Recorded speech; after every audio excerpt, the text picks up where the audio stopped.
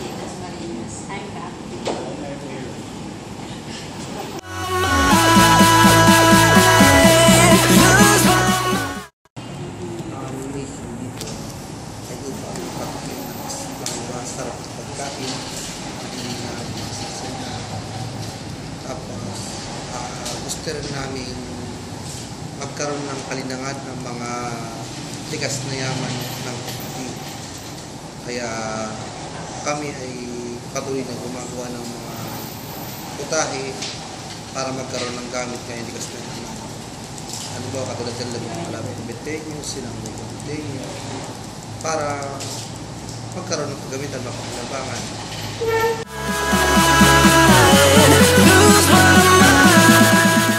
Ang bestseller namin dito ay yung grilled chicken sinampalukan at sa gulay aming Cavite Express.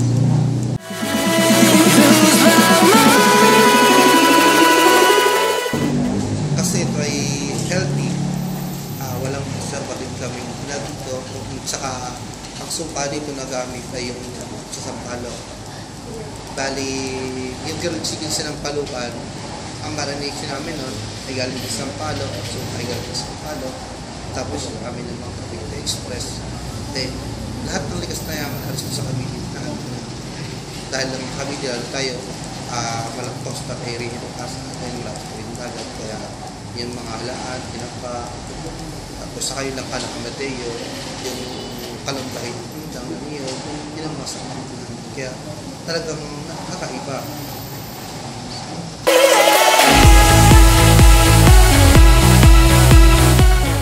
ang relasyon ng kumpanya sa mga staff ay kami isang pamilya sa kaming pamilya, magkakapalit ng mga tao dito. Tapos, parang tumatay yung magulang nila dahil kami ang ano, mga nagpapaalala ng mga dapat gawin. Saka yung mga ano namin, ah, yung mga, kami nagputos, kami nagkikiya para matuto sila. Kaya, ang relasyon namin sa staff eh, kami dito ay Parang family.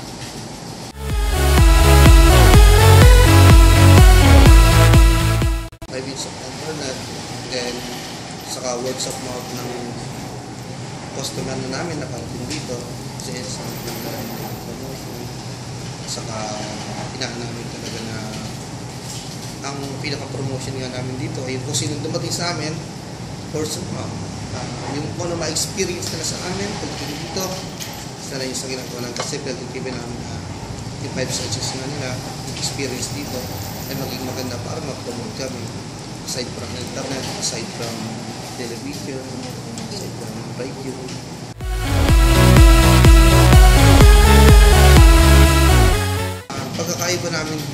Restaurant namin dito, sa ano pa lang, sa sa tayo pa lang, sa labas pa lang, makikita mo na wala namang ibang restaurant na katulad ng ano ng Emilia Ginaldo. Kasi ito ay replica ng Aguinaldo's Land.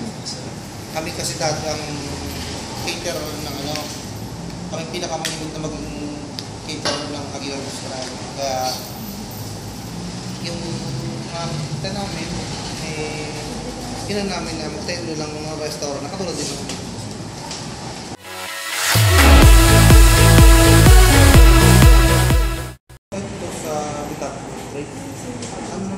ano naman saka ano naman hindi naman kami rito yung rules kasi namin, hindi kami bibili ng ano sa minors. Ano dito? Ng labor. Kasi ito kasi food. Ah, sa mga bar talaga, ano talaga yung alam ng minors. Pero kasi naman ang aming mga move dito ng aming business ay pagkain. Ah, food of... Pero parang nakita ko po kasi may parang mga beer-beer dyan. Ah, wala. Para sa iba lang. Actually, wala kami bar. Then, wala kami bar. Na rin lang. Doon lang. Pero nakalimutan sa kalimitan ng mga talika, yung mga taga-din na nag-request ng ano. Ito ang pwede nyo na ano. Pero hindi kami nag-serve na sa kanila. Kami na lang gumagawa ng paraan na hindi kayo mag-serve sa minors. Actually, kami ang ang ano namin dito eh, pag nakadagtok ang bote na beer, beer eh, Bawal. bawal. Kasi ang May pinopromote limit. lang talaga namin ang pagkain.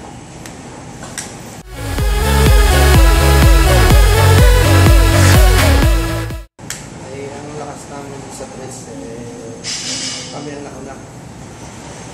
Ah, kayo po. First. Ah, ah, kami ang ano carry ko ng kahit sa press. eh. Kasi kami, at saka lang din sa palitin na kahit na yun, sinong kahit na yun.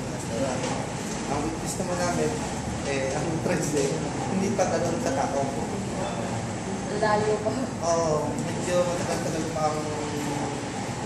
Pero ah, ano naman, ang amin yung takbo ng business eh, pata pataas.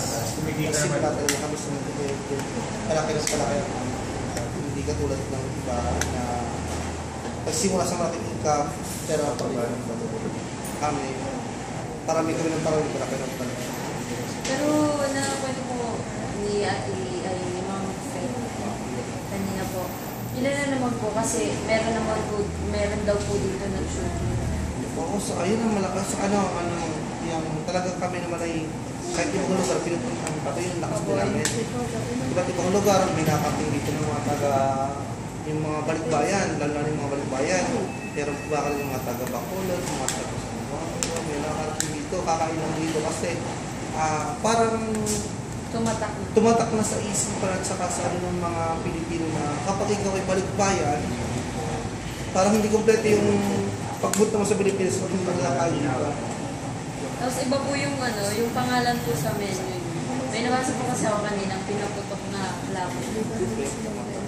Ayan, so parang, parang nakaka-attract. Sa marami na naman, pinaputok ng tabla, marami naman yung sa loob ng tabla. Pero yung ang amin dito, silang line of tabla, yun ang madala, parang kayo nakapag. Kami nang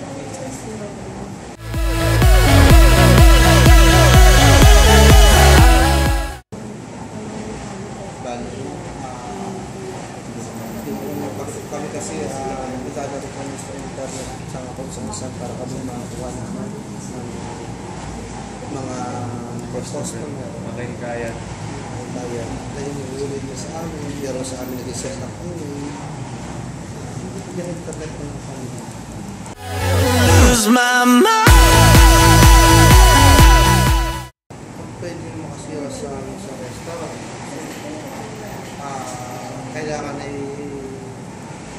Bagay kami consistent at saka kailangan mo bagay kami competitive.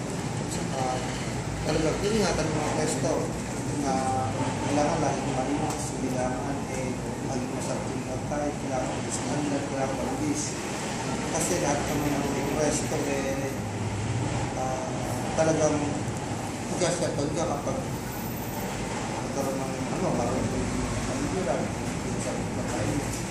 Talagang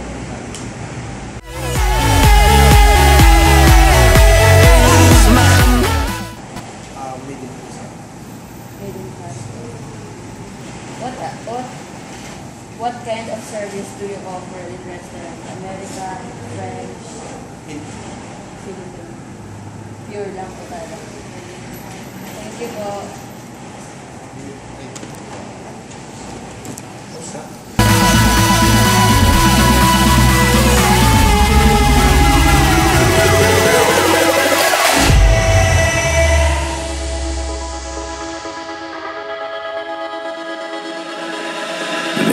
Heaven right now